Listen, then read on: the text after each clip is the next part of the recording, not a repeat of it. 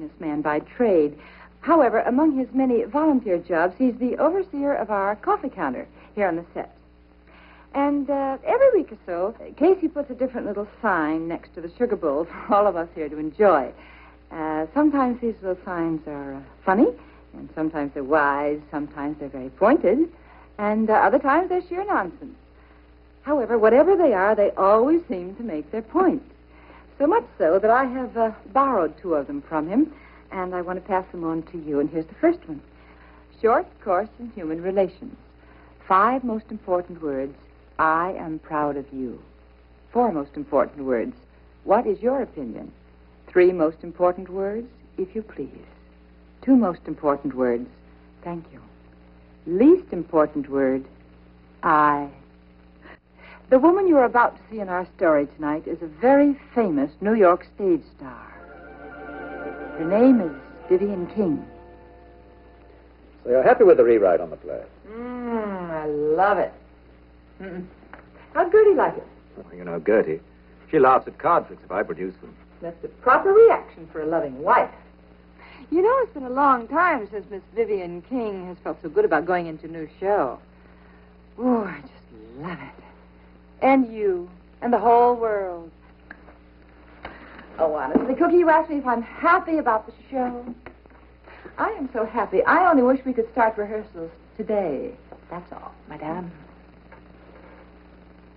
Oh, yes, yes, yes. Oh, oh, darling. You know, I've got some absolutely wonderful ideas about casting, said she modestly. Now, Cookie, is this hat really me? The you is you, and I'm buying it for you. You are. You know, I'll just take it, too. Mademoiselle? Tell me, uh, have you given the part of David any thought? Oh, I think I must have cast that part over my mind at least a thousand times. Oh? Oh, he's such a wonderful character. So New Yorkish. You know there are quite a few leading men in this town who could do justice to that part. Mm-hmm. Bill Steers, for one, and George Hamilton, and even Johnny London. Uh-huh. Well, what do you think of Phil Steers? I don't know. What do you think of Rig Parks? Rig Parks. Oh! Oh, not much. Have you ever seen him? Mm-hmm. A dreadful movie once. Why? I think he'd be excellent for David. uh, certainly no need in importing someone all the way from Hollywood to play the part of a New Yorker. Rig's not just someone from Hollywood. Now, what's wrong with Phil Steers? Nothing. I just think Rig has a little name value, that's all. You'd better gather up your bonnets, Miss Martell. There's going to be an ugly scene. Now, qu'est-ce que c'est name value? Well, he has made a number of pictures. Mhm. Young Dr. Darling does it. Young Dr. Darling does it again. A young Dr. Darling goes to the seacoast, and then the houseboat. All right, all right. Uh-huh. The young Dr. Darling series was very popular. Yes, I know, I know. Good day, Miss Yes, Miss Martell. Thank you very much. And Rig would draw a completely different audience from yours. Mm-hmm. Uh, just a minute, I'll get it for you. With a name like that, I'll just bet he'd draw a different audience. Go right ahead. I'll get the front door. Rig, dig, jig. Where do they find those ridiculous labels? You'll have to ask my grandfather.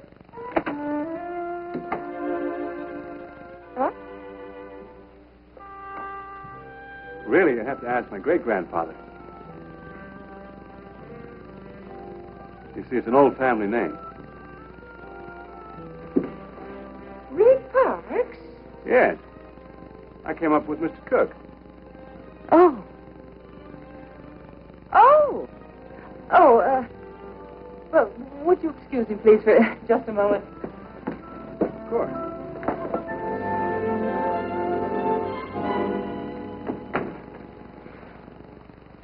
He doing here? Waiting to meet you. Oh. Came all the way from Neverland just to meet me? Well, why not? You've already signed him, haven't you, Cookie? Yes. You might have told me. You Saved me a lot of breath and yourself the price of a hat. Oh, now, Viv. No. Vivian has a few thousand words on the subject, but they all boil down to this. I think it was rotten of you, Mr. Cook. Oh, hon. It is true, you are the producer of this show. But I have to act with a gentleman every night, twice on Wednesdays and Saturdays. You might have consulted me, you know. Well, I had to grab him right away. He had a picture of her. Young Dr. Darling meets small kettle. He's a fine actor. I am sure he is. Goodbye, Cookie. I want you to come out and meet him. No, I am not. You may tell him I have seen him on the wide, wide screen, and I find him ducky. Vivian, don't be like this. I am mad, Mr. Cook. You've been a bad boy, and you know it. Oh, don't be mad, Vivi. Shall I be hurt? I could be good and hurt, you know. We're supposed to be good friends. Well, thank you, no. I'll be mad. It's more fun. Vivian, you must at least come out and meet your leading man. It's only professional courtesy. Your hat, Mr. Cook. What am I going to do with it? I wouldn't ask that question of me right now. Oh, I'm sorry to have kept you waiting, Mr. Park. Cookie tells me we're going to be working together. Didn't you know? Oh, Gesundheit. sorry. Oh, Gesundheit.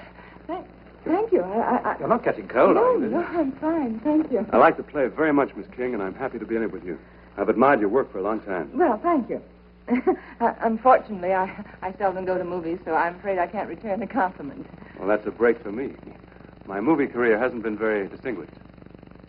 Oh, you're too modest. Not at all. I'm a pretty good actor. Yes, so Mr. Cook tells me. Well, I must say goodbye now, Mr. Oh? Oh, I'm sorry. Gesundheit. I, I have to. Oh, Gesundheit. I'm terribly sorry. Excuse me. Vivi, you are coming down with something. Yes, screaming meanies.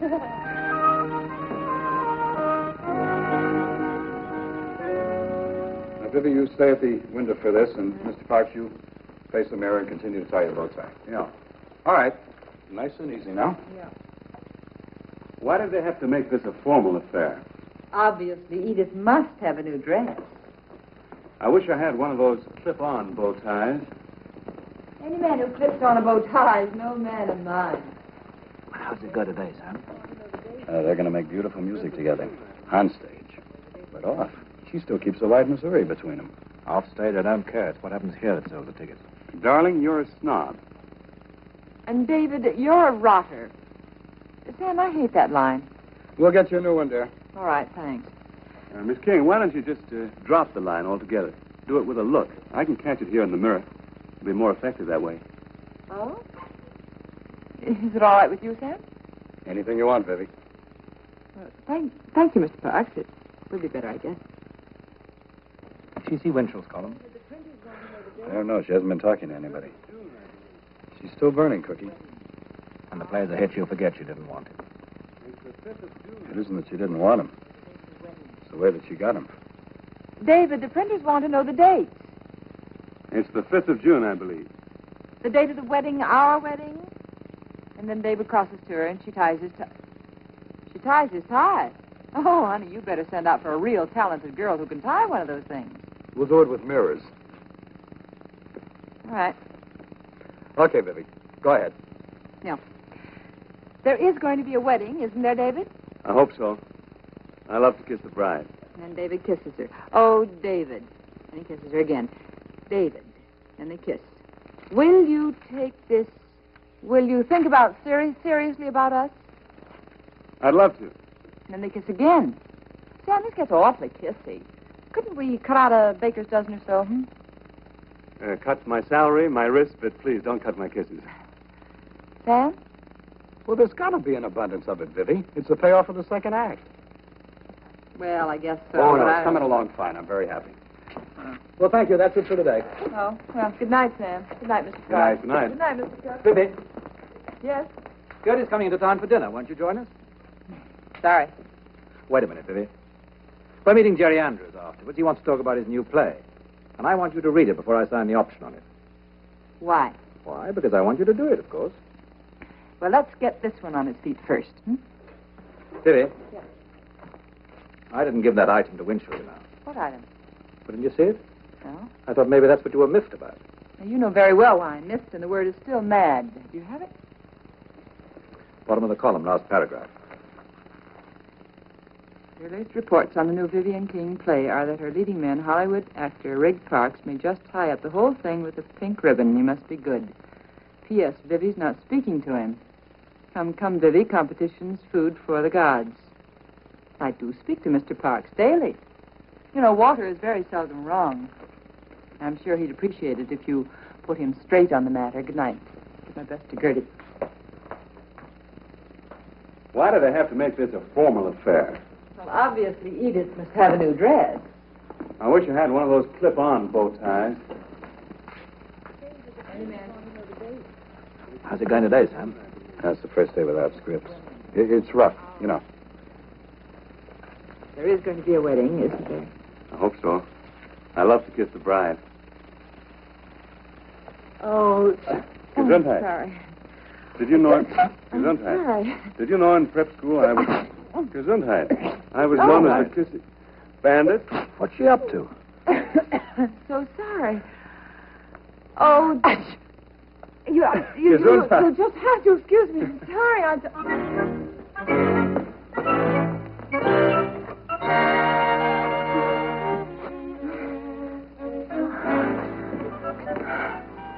What's the matter, darling? I don't know. You haven't got a cold. No. I don't think so. Oh, what is it? I tell you, I don't know. I... I see. Well, uh, what do you think it is? Well, it, it, it, it feels sort of like an itching and a tickling all up here and through my nose, you know. I remember having had it once as a child. Uh, someone sent me a rabbit for Easter, a live one, you know.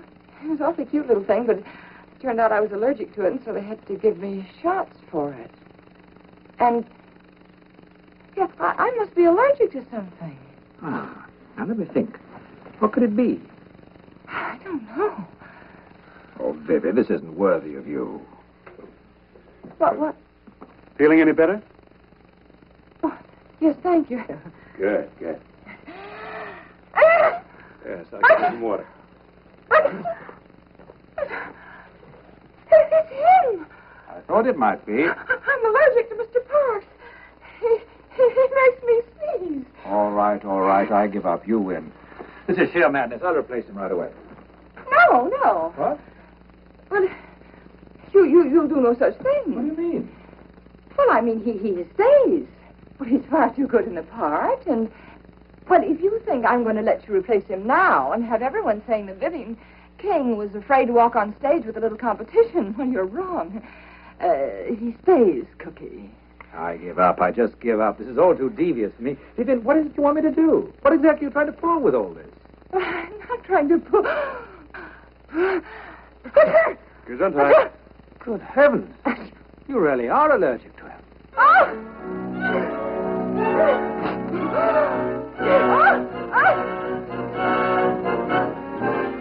Honorable producer.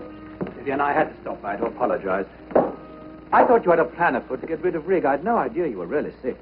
I am not really sick. Dr. Walter was just here and he says I'm fine. Fine.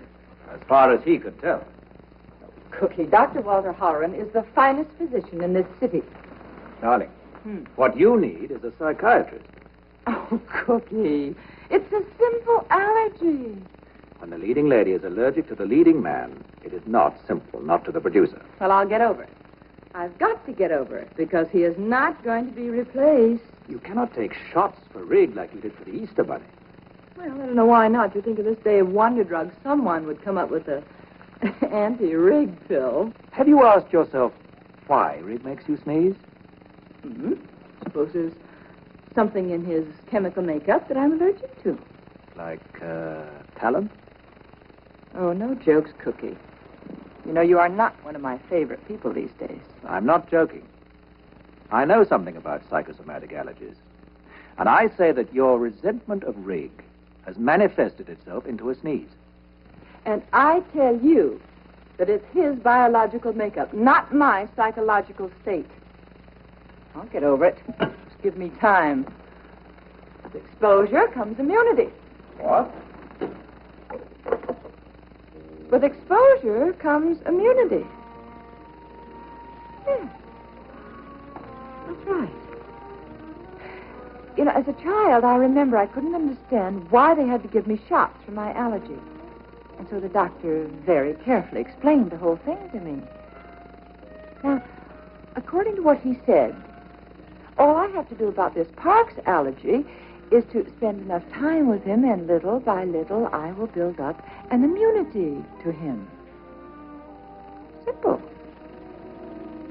And so, Mr. Parks, if we are to work together, I must build up a resistance to you. Now, to do this, uh, we will have to see as much of each other outside rehearsals as possible. Well, feel free to call on me for breakfast, lunch, dinner. Oh, thank you, I will. All three of them. Uh, shall we start with breakfast tomorrow Fine. at 7.30? Ouch. Oh, too early. No, no, no, no.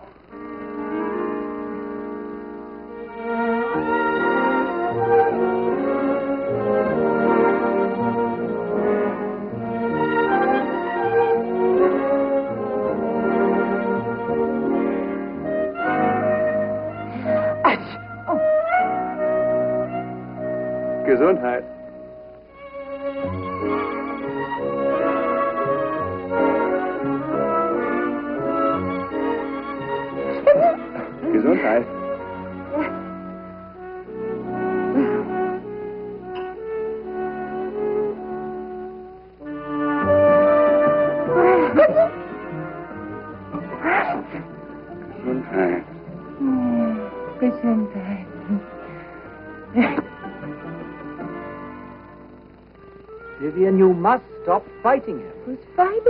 Think he's very nice. But deep, deep down, you want to get rid of him. No, I don't. Why would I want to? I'm a good actress. I can hold my own. If Rig is good, it's good for the play. If the play is good, it's good for me. That's what you say, and you no doubt think you believe it. But deep, deep down, Deep, deep, deep down, I really like him. you're lying to yourself. No, I'm not.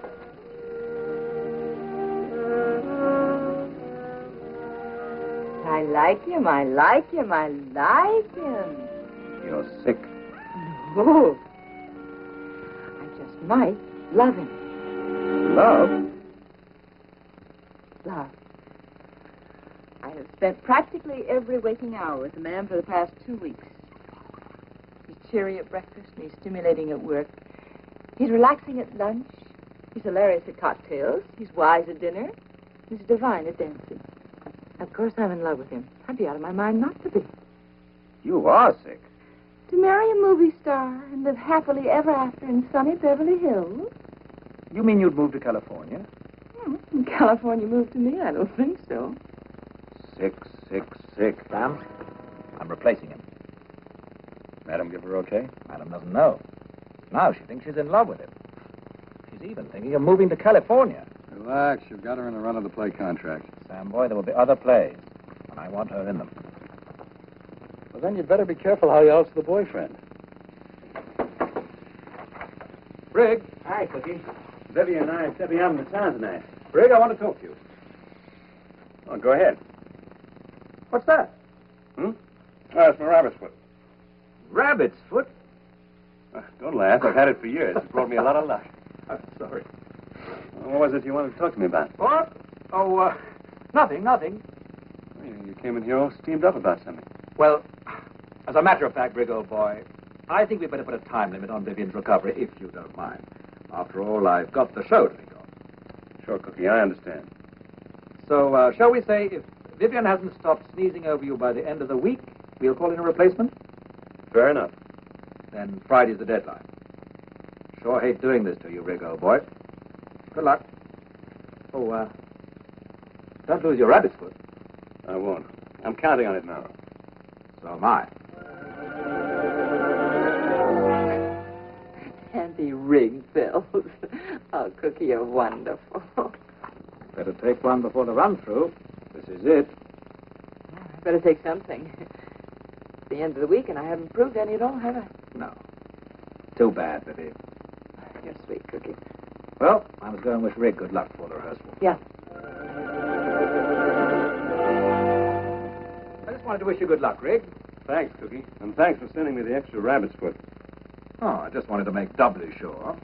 You think of everything, Cookie. Oh, and uh, here's your plane ticket back to Hollywood. Oh, just in case things don't go too well today. Well, with two of these, how can I miss? You can.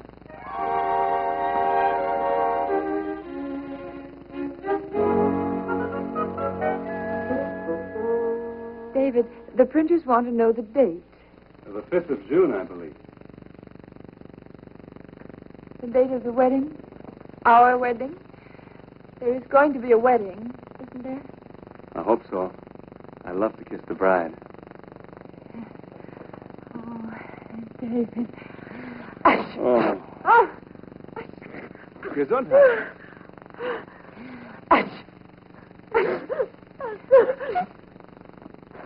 Oh, I'm sorry, Rig. Cookie, it's just no use of my going on. I just. I. I. I something deep, deep down inside of me. I'm. I'm just a mess. That's what I Gesundheit. Oh, it's worse. Twice as bad.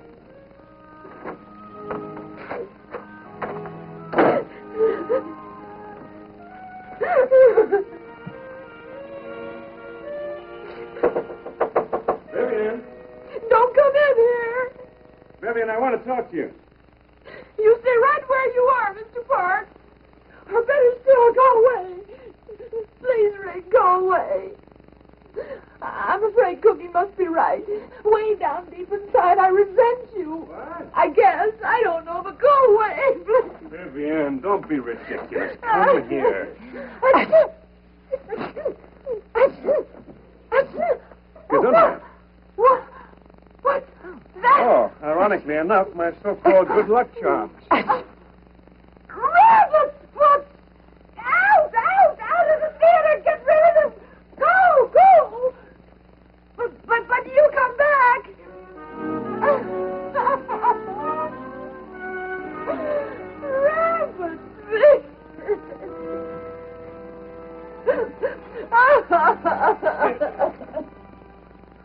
Don't cry, Vivi. You'll get Phil Steers. You'll be fine in the part. I'm sorry about Rig, but after all, Phil was No, your no, first no, choice. no, you don't understand.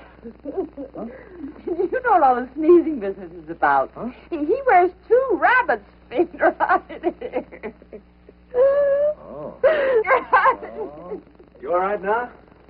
Yes, Daddy, I'm fine. Go on, tell him about your good luck charm. Oh, he already knows about it. What? Yeah, he saw I was wearing a rabbit's foot last week, so today he sent me another one to make doubly sure. Oh. So there's a villain in the piece, Cookie Legree. Well, can't blame a boy for trying. You are excused, Mr. Cook. Vivi. Go beat up on little Eva. Oh, Billy, all's fair in love and show business, you know? I know. I'm not really mad at it. I'm too happy. And you know something? We just may let you make the lunch out of us. Huh? Well, it'll be a chore. Oh, you. But you know something? Hmm. I might do just that. oh, darling.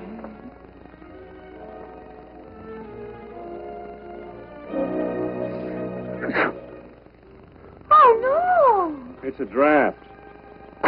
Believe me, I'm not the least bit allergic to you. Here is Miss Young. John, here is the second little sign that I borrowed from Casey's coffee counter, and it says, It's nice to be important, but it's more important to be nice. Thanks again, Casey. You're welcome, honey. Mm-hmm. Good night. We'll see you next week.